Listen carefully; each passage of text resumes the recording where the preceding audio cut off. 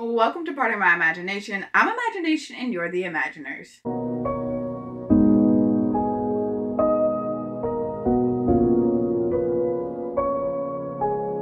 What? I don't have anything. Your food's out there. Welcome if this is your first time. My name is Jasmine and welcome back if this is your second or third or how many times you played on my channel. Welcome. Today I'm going to be going over my September TBR. Um, I'm keeping with the theme of last month and I have 16 books here. Um, I'm hoping to read a little bit more, but beggars can't be choosers. We're just getting into it. Um, if you hear my cat meowing, she has some grievances. I don't really know because she has food in her bowl, water. I've given her some pets. I don't really know. Ah, she's attacking me now.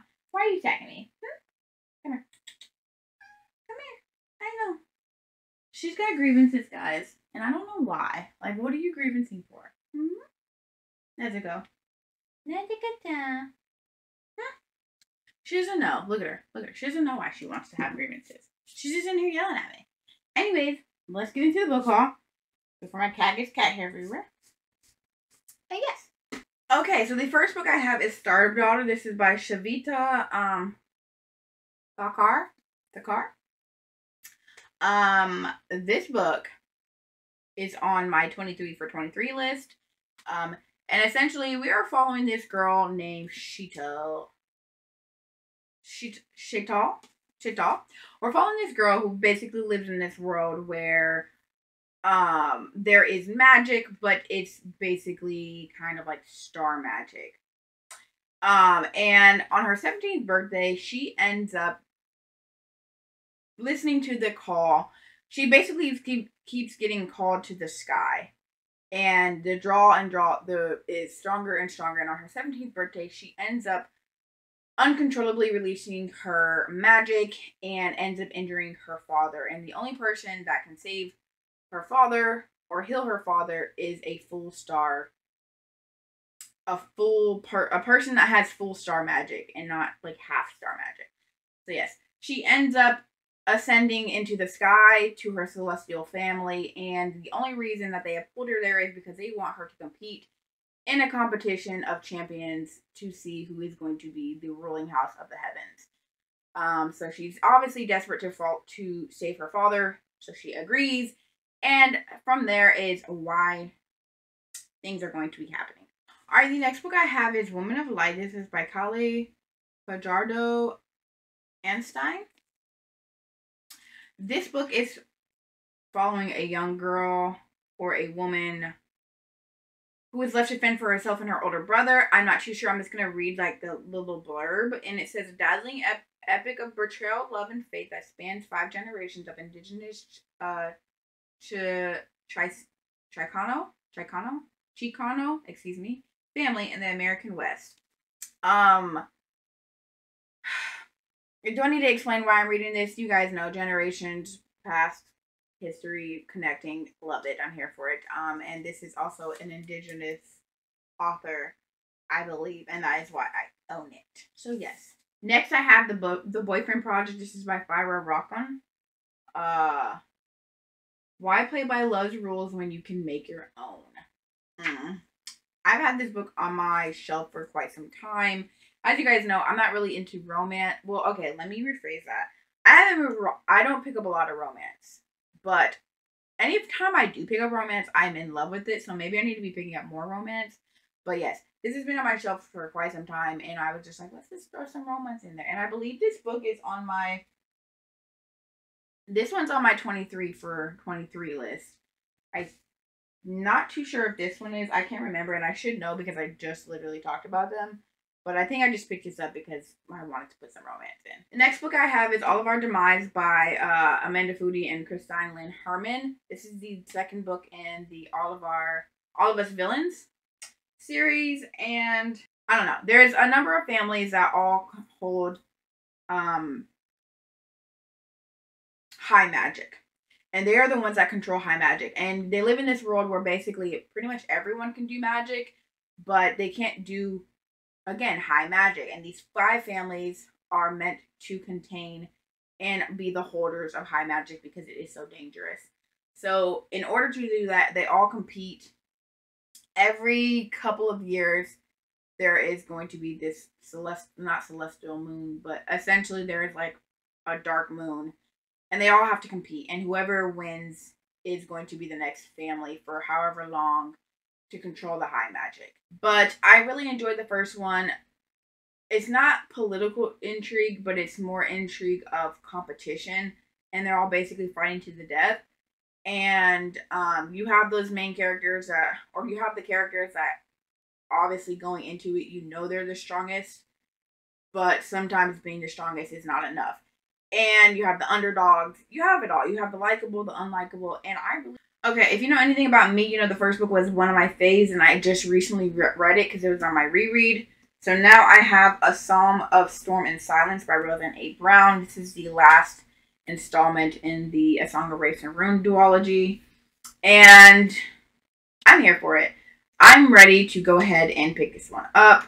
I recently, again, I just re- reread this, which is so funny because this is, I read, I read all of our, all of us villains, and then the, literally the next book was A Song of Wraiths and Ruin. So it's funny that I just did it in that order. That was not planned. But anyways, yes, this is following a girl. It's following two char- two main characters. You have Katrina, who is the Karina, excuse me. She is the crown princess of this kingdom, and her mother is basically the queen. She is the all powerful. Now, there was some tragedy that went on in this family, and so that her mom and her are the the only surviving of the family. And every year they, I don't, well, I don't think it's every year, but every so often they do a what's it called? Oh, festival essentially. They have this festival going on where each affinity competes into this festival, not to kill each other, but they just compete in this one to see who the next ruling ruling house of blessing is going to be. not necessarily the ruling house, but their house affinity is what's going to bless them for the next however many years. We'll say ten years, and then you will follow in this other point of view of I think his name is Malachi. I Malachi, yeah. You're following Malachi, who is a boy from a war-stricken, poverty-stricken um, country, and he and his sisters are traveling into the this city and they are looked down on, less than of, and so they're not really wanted. So they're trying to sneak into this world. So something happens, and this is not a spoiler because basically the synopsis.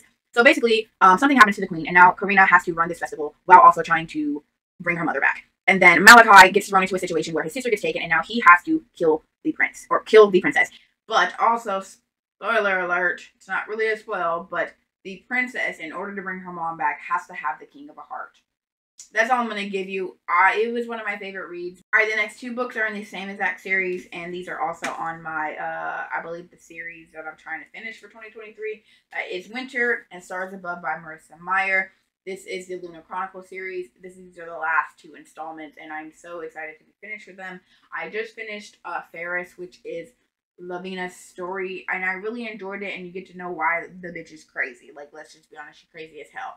So this is Winter and kind of what I've seen from Winter and Fairest, because that's the most that I've gotten of Winter, and I'm excited to go ahead and pick this up. I heard that this is the best one in the series, and then to finish it off with Stars Above. Um, yeah, I'm just ready to finish this. If you don't know what the Lunar Chronicle is about, um, this series has been out for quite some time. I think it came out back when I was in high school, which was a while ago.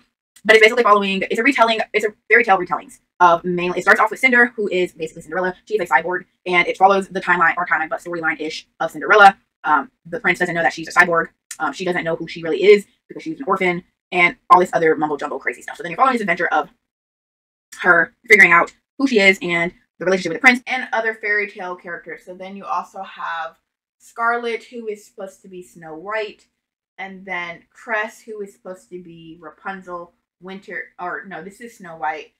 Uh, Scarlet is Red Riding Hood. Um, and then you're kind of binding these stories together. The next book I have is Their Eyes Are Watching God by Zora Neale Hurston. This is on my classics um, list for 2023. This is following a young girl in the 1930 or 1933. Um, it's basically told told in the captivating voice of a woman who refuses to live in sorrow, bitterness, fear, or foolish, foolish romantic dreams. It is the story of a fair-skinned, fiercely independent Janie Crawford and her evolving selfhood through three marriages and a life marked by poverty, trials, and support. This is obviously the staple of black classic. Um, Zora Neale Hurston was one of the first female authors, African American authors, Um, and she definitely paved the way for a lot of other authors, obviously, especially female authors, uh, female black authors. And I read Hitting a Straight Lick with a Crooked Stick, which was a com- uh, bind up of her short stories and collections and essays. And I loved it. I love her writing. I love how unforgiving Zora Hurston is. She purposely writes the way she was, and she was criticized for it in her time, and she didn't care, and she kept going on. And I'm here for it. You hear me? I'm here for it. Okay, the next book that I have is Winter Counts by David Heska Wom- Wanbli Weiden. This story is following a man named Virgil who basically is sought after to he he's basically the police like the local enforcer for this reservation in South in South Dakota. And so when the the justice system basically fails this reservation, um the he is enacted to seek out their his own justice. And so he goes back onto the reservation and finds his nephew being a vigilante and he enlists his his nephew and his ex-girlfriend to go ahead and dish out punishment that was due.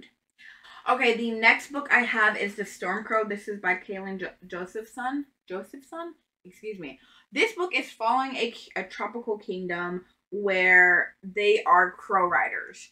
Um, and so they end up getting invaded, and all the crows end up being killed and slaughtered. And so you're following these two sisters. One of the sisters, which is the older sister, is having to run the kingdom after her mother, her parents' death. And the other sister, who is the main character, well, there's two main characters. You're following both sister sisters. Um, Anthia, um, or Thea, which is nicknamed, she basically falls into this depression. All she ever wanted to do was be a crow rider. And obviously, with this invasion, she has that opportunity taken away. Well, when she gets put in, she ends up getting told that she is going to be forced, her, her, she's going to be forced into a marriage with obviously the invaders. Um, her older sister ends up getting sprung into action to try to stop this. Well, during the chaos, they actually end up finding a crow egg, and they're going to do the most dangerous thing and hatch this crow while also trying to start a rebellion. But yes, I'm so excited to get to this. It's been on my shelf for so so long, and this book is also on my 23 for 23. The next book I have is Muse Nightmares by Laini Taylor. Again, this is to finish off my duology. Um, I believe this is the last book that I have for the duologies. Okay, so this book is obviously the second book in the Strange the Dreamer. Um, if you don't know, I recently just finished Strange the Dreamer last year, and it took me like three years to finish it. Um, the beginning half was very, very, very slow for me, and when I tell you, like literally the second half of the book is where all the action is. Um, yeah, it was slow sailing, but I'm just going. I'm ready to finish off the series. Um, it's only a duology, so I'm ready to finish this, especially where it was left off at. I need to know the rest. But if you don't know what the Stranger Dreamer is about, it's following this character named, Lazlo Strange, and for whatever reason, he is the only one that can remember the name of this world, and I'm blanking on the name of it myself. So Weep. So there's a world named the Weep, but Lazlo Strange is the only one that actually remembers the world of Weep. Nobody else does. So it, end, it ends up where the people from Weep end up coming and they are seeking help from all around the world to go ahead and help them with this problem in Weep. And so Lazlo Strange, although he has no talents, he gets chosen to be the storyteller on this trip. And so when he gets there, they are trying to remove this large citadel thing in the sky. That's the first perspective. And now you're following. But yeah, you're following one of the characters for, who is actually living in the tower, and you're following her perspective of what's happening on the ground and too as well. Um, again, I'm just ready to go ahead and finish this series. This is the sequel to uh, read not Redemptor, but Ray Raybearer, and that is Redemptor by Jordan E. Fuego.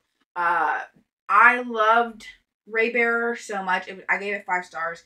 Again, it was also in the uh, Shaded Choice Awards loved it so much. I it, this book could do no wrong. Um, and so I am just so excited to go ahead and pick up the second book. If you don't know what Ray Raybearer is about, Ray Raybearer is following this girl who essentially her mother has raised her to her mother has secluded her from the outside world and has just raised her to do one thing, and that is to fulfill her wish. She wants her daughter to fulfill a wish for her. I'm not gonna tell you what it is because it would spoil it. So then she essentially has to go in this kingdom where there is one king, but in the kingdom you have a king, and then he he has advisors. But outside of them just being normal advisors, they're all connected. They all went through this. I'm not gonna say challenge. It's not a challenge, but they as as a child they grow go through this where they choose these people to be connected to them. So that is basically what she gets thrown to do. She ends up getting thrown into this so that she can compete to get close to the prince. And in order to get close to the prince, she will be able to lay out her mother's wishes. That is kind of the gist. This story is so beautiful because you see the relationships and not just the relationships that are connected to the prince, but are also connected between the council members or the group members that are I can't remember the, the specific name of what they're called. But they all have a certain connection. And it is so beautiful to just see these connections, friendships, um, intimate and non-intimate. And it's just overall beautiful story. The world building the magic system the mythology all of it i'm here for it. And you guys should pick up Raybearer and i am so excited to go ahead and finish out okay so if you couldn't tell there's a pattern because i am trying to finish out these these mangas or at least catch up in them so i can pick up better mangas and the first one i have is assassin class assassination classroom by Yusei Matsui this is volume number six um, again, I this is a broken record, but if you're new here, I'm to say it. Anyways, this is following a alien who has invaded Earth, and he says that he is going to destroy the Earth. Um, but he's going to give them a year time to assassinate him. But the only people that can assassinate him are these specific children in this classroom. And I believe it's classroom E. I always forget E. 3E. So 3E are basically, I'm going to call them delinquents because they're not all delinquents, but basically they're the non well off or can't really make it with the best grades or just really, really just the low ends of the classes. Like they're doing their best, but they're not the best, you know. And it's not just society. It's not just a school. It's all society. They everyone looks down on class three E. Um, and so he says he wants to be the teacher of this classroom, and he's going to give this classroom a year to assassinate him. But he's also going to be their teacher, so he's teaching them basics like subjects, math, English, science, the whole nine. But he's also teaching them how to assassinate him, and it is so wholesome. Um, the lessons that he's teaching them is just so beautiful, and you're seeing them grow, and I'm just loving it so much. And I kind of have a gist of why he chose this classroom I'm not gonna spoil it. All right, next I have is Spy Family by Ta um Tatsuya, excuse me, Endo. This is volume number four. Again, I really the first one was slow, but they have been kicking off for me, and I'm just enjoying the ride of seeing these things unfold. Um, again, if you don't know what Spy Family is about, it is following this family. It's not really a family. It's following this man who's a spy, and he has to infiltrate this school and kill one of the parents that yeah, he has to kill one of the parents who sends their child to this school. But it's this elite, this extreme elite school. But so in order to get into it, he has to create a family. So he ends up adopting adopting an orphan. But little does he know that this orphan is a telepath. She can read minds. So she knows 100% that this man is a spy. And then he obviously has to find a wife. Well, the wife that he finds, little does he know, is also an assassin. But the daughter knows because she's a telepath. So these two people are, are agreed to be in a fake marriage to for their own agenda. Neither one of them know why. They just know that oh, they told them this fake story and they agreed to a fake marriage. The only person that knows is this little girl who is a telepath. But she's also like five or six. So she doesn't really understand a lot of the things that she's hearing in people's brains, and it is quite literally so funny. Um, it's very enjoyable. The first one was a little bit slow because it kind of just kept repeating the premise of the story, so it kind of dragged. But now, once you get past the first one, everyone else is just so enjoyable. All right, the next book I have is from Under the Mountains, and this is by a handful of people: Gibson, Leong, and Churchland. Um, I picked this one up because of the native vibes it was giving me. Um, indigenous vibes. Alright, and last but not least, I have Something is Killing the Children. This is volume number three. This is by James Tynion the fifth, or excuse me, the yeah, the fourth. Um, Weather Del Adra and Miquel Muerto. Uh, this is the third volume. The title is very self-explanatory. Something is killing the children. Um, you're following this world. It's basically a modern world, and there is something in the woods that is killing the children. And so Erica Slasher ends up not Slasher, Slaughter.